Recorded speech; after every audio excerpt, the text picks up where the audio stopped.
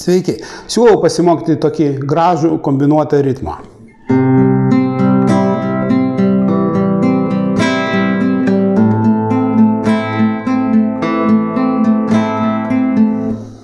Ką aš čia panaudojau? Aš panaudojau standartinį keturių ketvirtinio arpedžio kurį tikiuosi jau mokate, ar ne? Keturių ketvirtinių, jeigu grojame aštuntiniam, aš naudoju aštuonis garsus. Vienas, du, trys, keturi, penki, šeši, septyni, aštuoni.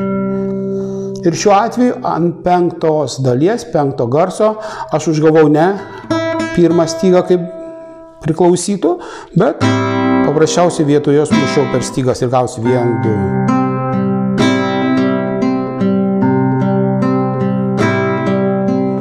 Ir šiuo atveju, kas yra sunkiausia? Yra sunkiausia po mušimo, kadangi dešinė ranka atsiranda gana žemai, staiga grįžti ir pataikyti į trečią stygą.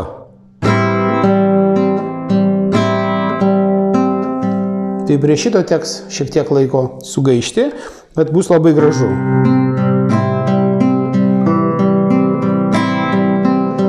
Nes tuo pačiu galite miksuoti. Pavyzdžiui, pragroju tik arpedžio vieną posmelį o kitą jau truputį pridėdamas emocijos jau panaudoju ritmiką.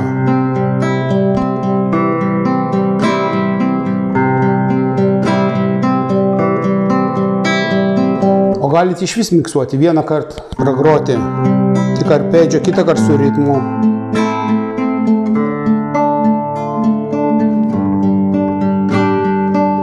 Tai bus visą laiką įvairiau, įdomiau ir jūsų atliekamos dainos akomponuojasite, kurioms tikrai gražiau skambės.